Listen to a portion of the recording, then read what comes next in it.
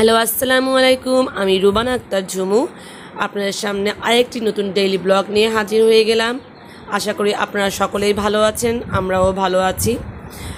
আজকের ভিডিওটি গত শনিবার করা, যা আপলোড করতে আমার একটু দেরি হয়ে গেল, আমি একটু অসুস্থ ছিলাম। তো আমি আপনাদের কাছে আন্তরিকভাবে দুঃখিত। আজকের ভিডিওতে আমি আপনাদের দেখাবো কীভাবে বাসার সুইচ বোর্ডগুলো অতি সহজেই স্যানিটাইজার অথবা হেক্সিসোল দিয়ে কীভাবে সহজেই পরিষ্কার করা যায়। একটু তুলা নিয়ে তার মধ্যে স্যানিটাইজার নিয়ে নিয়ে ঘষলেই দেখবেন অনেক সহজেই ময়লা উঠে আসতেছে। কোনো ভয় পাবার কিছু নেই। দেখবেন কত দ্রুত আপনার সুইচ বোর্ডটা পরিষ্কার হয়ে যাচ্ছে। যত ময়লায় থাকুক না কেন, দেখেন কত পরিষ্কার হয়ে গেছে। আর দেখেন তুলার মধ্যে কতটা ময়লা উঠে এসেছে। তুলা না থাকলেও হবে, পাতলা কাপড়ের মধ্যে নিয়েও আপনারা যদি পরিষ্কার করেন, তাতেও পরিষ্কার হয়ে যাবে। আমি আজকে আমার বাসার সবগুলো সুইচ বোর্ডই এভাবে পরিষ্কার করে নিয়েছি। আমি মূলত ভিডিওটি করার জন্যই এগুলো এতদিন পরিষ্কার করি নাই।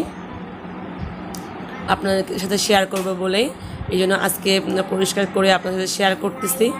যদি কারও এতটুকু এতটুকু উপকারে আসে আর আমার ভিডিওটি আপলোড করতে দেরি হওয়ার একটাই কারণ যে আমি গত শুক্রবার ফ্রিজ পরিষ্কার করেছিলাম। আপনারা তো জানেন আমি তার আগে অসুস্থ ছিলাম। একটু সুস্থ হতেই আবার এই ঠান্ডা নাড়ার কারণে আবার অসুস্থ হয়ে পড়ি। এ কারণে আমি ভিডিও করলেও ওগুলো আপলোড করতে পারি নাই। এই জন্য আমি আপনাদের কাছে আন্তরিকভাবে দুঃখিত। তো আমি এই ভিডিওটি আমার ছিল গত শনিবারের। শনিবারের ভিডিওটি আমি আপনার কাছে আজকে শেয়ার করতেছি। দেখেন কত ময়লা উঠে এসেছে, প্রতিটা সুইচ বোর্ড দেখেন এখন কতটা পরিষ্কার হয়ে গেছে, একদম ঝকঝক করছে, পুরা নতুন হয়ে গেছে, আপনারাও বাসায় ট্রাই করে দেখবেন। আমি আজকে দুপুরের পরে খাওয়া দাওয়া করে চারটার দিকে আমি মার্কেটে যাই। আমি এর আগে ভিডিওতে বলেছিলাম যে আমি দুইটা চাদর কিনেছিলাম, তার মধ্যে একটি আপনাদের দেখিয়েছে, নিয়ে আসছিলাম আর একটি চাদর আমি সেলাই করতে দিয়ে আসছিলাম, বালিশের কভার সহ। ওটা শুক্রবার নিয়ে আসার কথা ছিল, কিন্তু আমি নিয়ে আসতে পারিনি, তাই শনিবার দিন গিয়েছিলাম। আমি এগুলোর সাথে একটা পুরাতন কোলবালিশের কভার ছোট করতে দিয়েছিলাম।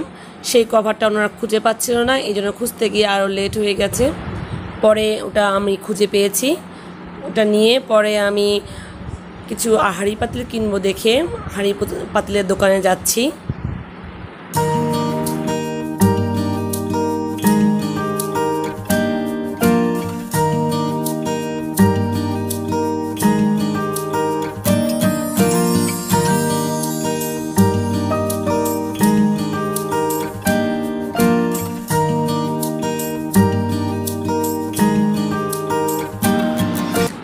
আজকে আমার মার্কেটে যেতে একদম ইচ্ছে করছিল না, শরীরটা খারাপ। কিন্তু চাদরটা শুক্রবারে আনার কথা ছিল, আনিনি। আজকে ঈদের আগের দিন, আজকে যদি না নিয়ে আসি, তাহলে ওনারা হারিয়েও ফেলতে পারে, এই জন্য গিয়েছি। তারপর আমার শরীরটা অনেক খারাপ লাগতেছিল, বিধা আমি আর ভিডিও করিনি। পরে কিনে রিক্সায় উঠে যে ভিডিও করছি। আমি হাড়ি পাতিলগুলো কিনে নিয়েছি, এই যে আমার সামনে রাখা। পরে বাসায় গিয়ে আপনার সাথে আমি শেয়ার করব। অসুস্থ কারণে কেনার সময় ভিডিও করতে পারলাম না। যাই হোক, বাসায় এসে আমি নতুন চাদরটা বিছিয়ে ফেলেছি যাতে ঈদের দিনে ঝামেলা না হয়। আমার মেয়েরা খুব পছন্দ করেছে চাদরটা। চাদরটা বিছিয়ে দিয়ে এখন আমি আমার যে বাজারগুলো করেছে, শুকনা বাজার, চিনি, চা পাতা মানে যা যা লাগে আর কি ঈদের বাজার, মাসের বাজার, যাই বলেন, সেগুলো আর কি গুছাবো, গুছিয়ে রাখব। এই জন্যে আমি এখন ওগুলো গুছাতে গেলাম।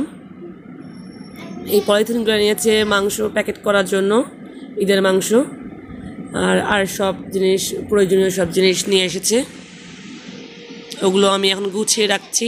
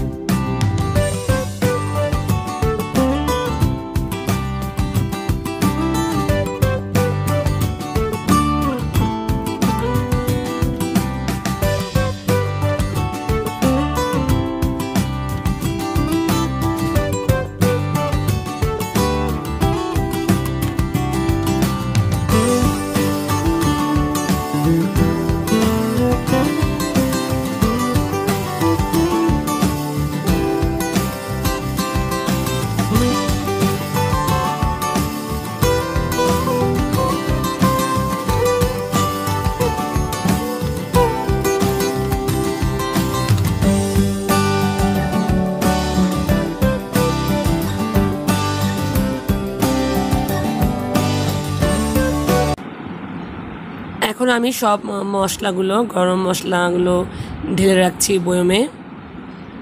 এগুলো ঢেলে রেখে সব গুছিয়ে রেখে আমি আপনার সাথে শেয়ার করব আমি কি কি পাতিল কিনেছি। আমি তিনটা সসপ্যান, তিন সাইজের, আর একটা কড়াই আর দুটো জালি কিনেছি আজকে। একটা সসপ্যান দেড় থেকে দুই কেজির মতো পোলাও রান্না করা যাবে। একটা হচ্ছে এক কেজি, সোয়া কেজি এরকম। আর একটা একদম ছোট। এগুলো কিনেছি। তো আজকের ভিডিওটি আমি এখানে শেষ করছি। আশা করি সকলের ভালো লাগবে। যদি ভালো লেগে থাকে, অবশ্যই একটি লাইক এবং শেয়ার করবেন। আপনার একটি লাইক, একটি শেয়ার আমার পেজটাকে সামনের দিকে এগিয়ে নিয়ে যেতে অনেক সাহায্য করবে। যারা আমার পেজ থেকে দেখছেন তারা অবশ্যই ফলো দিয়ে রাখবেন। আর যারা ইউটিউব চ্যানেল থেকে দেখছেন, অবশ্যই সাবস্ক্রাইব করে রাখবেন। তো সবাই ভালো থাকবেন, সুস্থ থাকবেন। আল্লাহ হাফেজ।